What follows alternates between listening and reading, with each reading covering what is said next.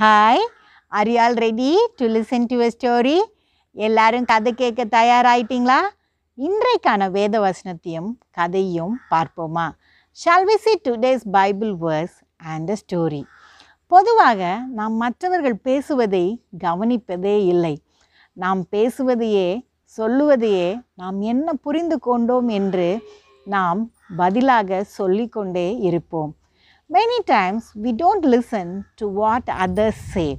We don't accept what they say or explain. We just keep repeating what we have perceived and what we want to say. Let us listen and answer to others.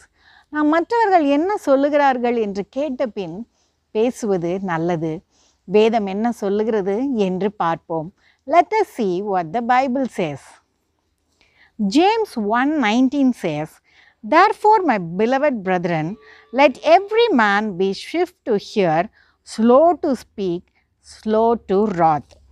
யாக்கோபு ஒன்று பத்தொம்போது சொல்லுகிறது ஆகையால் என் பிரியமான சகோதரரே யாவரும் கேட்கிறதற்கு தீவிரமாயும் பேசுவதற்கு பொறுமையாயும் கோபிப்பதற்கு தாமதமாயும் இருக்க கடவர்கள் as first we have to listen முதலில் நாம் கவனிக்க வேண்டும். கவனித்தால்தான் மற்றவர்கள் என்ன நினைப்பாட்டில் இருக்கிறார்கள் என்று புரிந்து கொள்ள வே முடியும். Only when we listen we can understand the feeling and thought of others instead we should not talk whatever we feel அதை விட்டுவிட்டு நாம் என்ன தோன்றுகிறதோ அதை பேசக்கூடாது. ஒரு முறை ஒரு ஆற்றின் ஓரத்தில் இரண்டு பெரிய ஆலமரங்கள் இருந்தது. அந்த ஆலமரங்கள் அந்த ஆற்றின் கரையோரம் இருந்து மிக செழிப்பாக வளர்ந்து ஓங்கி நின்றது.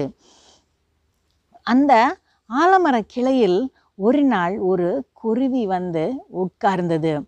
There were two big banyan trees on a river side the both trees were on the banks of the river and they were so big. One day, a little bird came and sat on the tree and it asked the first tree, Dear tree, will you give me permission to make my nest in your branches so that I can lay eggs and after my chicks are grown up, I can leave the branch. அந்த குருவி முதலில் இருந்த ஆலமரத்திடம் கேட்டது மரமே நான் உன் கிளைகளில் கூடு கட்ட நீ அனுமதி தருவாயா? கூடு கட்டிய பின் என் உன் நான் முட்டை பொரித்த பின் என் குஞ்சுகளெல்லாம் வளர்ந்த பின் நான் சென்று விடுவேன் என்று. ஆனால் அந்த முதல் ஆலமரம் சொன்னதாம் அதெல்லாம் முடியாது. நீ என் கிளைகளில் கூடு வைக்க கூடாது என்று. So the first banyan tree said no I will not permit you you should not keep your nest in my branches So the bird went to the second tree and asked, and the second tree permitted to permitted the bird to keep her nest there. அதனால் அந்த குருவி அந்த இரண்டாம் மரத்திடம் சென்று கூடுகளை கூடு கட்டுவதற்கு அனுமதி கேட்டது. அந்த இரண்டாம் ம- மரம் அனுமதி கொடுத்தது. அதனால் அந்த குருவி அங்கு கூடு கட்டியது சந்தோஷமாக முட்டைகள் இட்டது. ஆனால் திடீரென்று மழை பெய்ய துவங்கியது and so the bird built its nest and laid eggs also. And suddenly there was heavy rain, and due to heavy rain, there was flood in the river. அதிக மழையின் நிமித்தம் அந்த ஆற்றில் வெள்ளப்பெருக்கு ஏற்பட்டது அந்த வெள்ளத்தில் அந்த முதலில் இருந்த மரம் அடிபட்டு மிதக்க துவங்கியது அது கீழே சரிந்து மிதக்க துவங்கியது and due to heavy flood the first tree was uprooted and it fell into the river and started floating. And the bird that was sitting in his nest said, See, you did not give me permission to uh, build my nest in your branches, and so God has punished you. அந்த குருவி அந்த அதன் கூட்டிற்குள் உட்கார்ந்து சொன்னதாம் பார்த்தாயா உன் கிளைகளில் கூடு கட்ட நீ என்னை அனுமதிக்கவில்லை. அதனால்தான் கடவுள் உன்னை தண்டித்து விட்டார் என்று. ஆனால் அந்த மிதந்து கொண்டே அந்த மரம் சொன்னதாம் இல்லை குருவியை நீ தவறாக புரிந்து கொண்டாய். என் வேர்கள் வலு இழந்து கொண்டிருப்பதை நான் உணர்ந்தேன். எனக்கு முன்பதாகவே தெரியும். என் வேர்கள் வலு இழந்து கொண்டு இருக்கின்றன ஏதோ ஒரு நாள் நான் விழுந்து விடுவேன் என்று தெரியும். என்னோடு சேர்ந்து நீயும் உயிர் நீத்து விடக்கூடாது என்பதற்காக தான் நான் உன்னை அனுமதிக்கவில்லை என்றதாம். The tree that was floating away said no my dear bird, it is not so I know that my roots were getting weak and I know that one day I am going to get uprooted and fall down. And so I did not want you also to give up your life with me. I want you to be happy. That is why I did not allow you to build your nest in my branch. But you know what?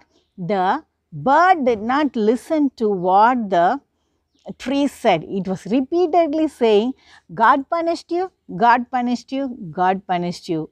And the tree silently floated away. ஆனால் இந்த கு- குருவி அந்த மரம் சொன்னதை காதில் வாங்கி கொள்ளவே இல்லை அது மீண்டும் மீண்டும் சொன்னதாம் தெய்வம் உன்னை தண்டித்து விட்டார் கடவுள் உன்னை தண்டித்து தண்டித்து விட்டார் என்று மீண்டும் மீண்டும் சொன்னதே ஒழிய அந்த மரம் சொன்னதை அதில் காதை அது காதில் வாங்கி கொள்ளவே இல்லை அந்த மரம் அமைதியாக அந்த இடத்திலிருந்து அடித்து செல்லப்பட்டது. நாமும் இப்படிதான். மற்றவர்கள் சொல்வதை நாம் காதில் வாங்கிக் கொள்வதும் இல்லை புரிந்து கொள்வதும் இல்லை. நாம் மற்றவர்களை பற்றி என்ன யோசித்திருக்கிறோமோ அல்லது நாம் என்ன புரிந்திருக்கிறோ கொண்டிருக்கிறோமோ அதை தான் நாம் கடைசி வரை சொல்லிக்கொண்டே இருப்போம். Yes sometimes we are also like that we keep saying what we perceive or what we think about others we never uh, take time to listen to what they say and then answer. We should not be like that. We should listen to what others say and then only decide what to talk.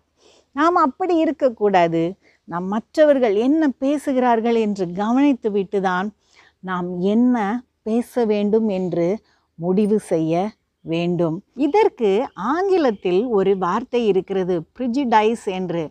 அதாவது நாம் முதலிலேயே மனதிற்குள் ஒரு தீர்மானத்திற்கு வந்து விடுகிறோம். இது இப்படிதான் இவர்கள் இப்படிதான் என்று.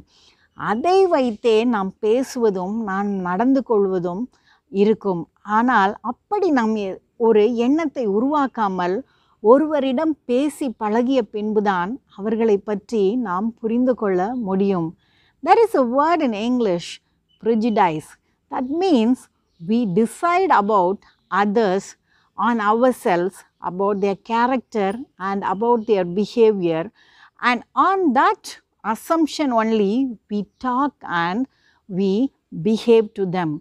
It should not be so. Only when we have a good relationship with them or listen to what we talk, we will be able to understand about others. அடுத்த கதையில் சந்திப்போம் let us meet in the next story